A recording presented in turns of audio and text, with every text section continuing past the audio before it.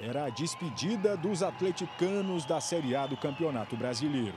O time entrou em campo com o objetivo de manter a invencibilidade. Do outro lado, o Fluminense querendo uma vaga na Libertadores. Mas o Dragão começa atacando e sofre falta. Luiz Fernando vai para a cobrança, mas a bola para no rosto de Dourado. O Atlético segue pressionando.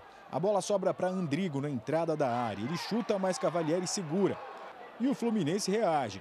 Wendel chuta em cima da defesa. Aproveita o rebote, a bola para em Ricardo Silva. Eles pedem pênalti, mas o juiz não marca. E o Wendel não desperdiça a segunda oportunidade. Ele recebe a bola lá no meio do campo, corre sozinho com ela e manda para o gol, certeiro. 1 a 0 Fluminense.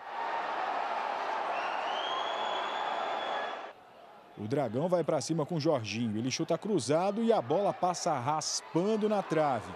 Mas nesse lançamento a zaga erra e a bola sobra para Andrigo. Ele cruza e Diego Rosa chuta para o gol. A bola bate no travessão e entra. Tudo igual no Estádio Olímpico, 1 a 1.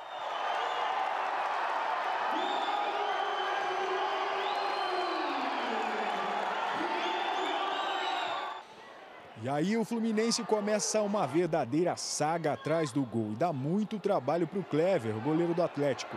Bola por cima da trave, jogada alta que o goleiro precisa se esticar inteirinho para tirar. E para fechar o primeiro tempo, essa bola aí que parecia impossível de segurar e o Clever conseguiu. No segundo tempo, o Dragão volta atacando. Igor recebe pela direita e chuta cruzado, mas vai para fora. Na sequência, Jorginho arrisca de longe e a bola vai para fora também. Diego Rosa vai para a área e tenta um gol de letra, mas Cavalieri defende. E o Clever, que deu uma respirada no jogo, volta a trabalhar. E aí lá veio o Dourado. Ele recebe cruzamento, cabeceia, mas o Kleber defende também. Nesse lance aí, o Atlético dá um susto no adversário. Luiz Fernando cruza e Jorginho manda de cabeça para o goleiro segurar. O Fluminense vai para o ataque. Dourado recebe livre, chuta, mas o árbitro marca impedimento. O técnico João Paulo Sanches reclama e acaba sendo expulso de campo.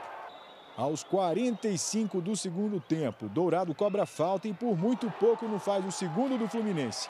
Termina tudo igual, Atlético 1, Fluminense também 1. O empate não fez nenhuma diferença para o Atlético, até porque o time já estava rebaixado mesmo. Foram 31 rodadas na lanterna da Série A, 56 gols sofridos, uma das piores defesas do campeonato. Agora o Atlético vai para a Série B no ano que vem, com o compromisso de fazer uma campanha muito melhor que a desse ano. Mas apesar da lanterna e do rebaixamento, o Atlético terminou o campeonato com cinco jogos de invencibilidade. O técnico acredita que esse é um modelo que deu certo e vai ser melhorado em 2018. Devemos permanecer com de 7 a 9 atletas deste elenco. É, com certeza esse é um parâmetro muito grande que nós temos que trilhar. Vamos ter algumas correções, algumas evoluções a serem feitas, porque muda o perfil de jogo em relação ao Campeonato Goiano e Série B do que é a Série A. É, mas esse é o caminho, isso não resta a menor dúvida.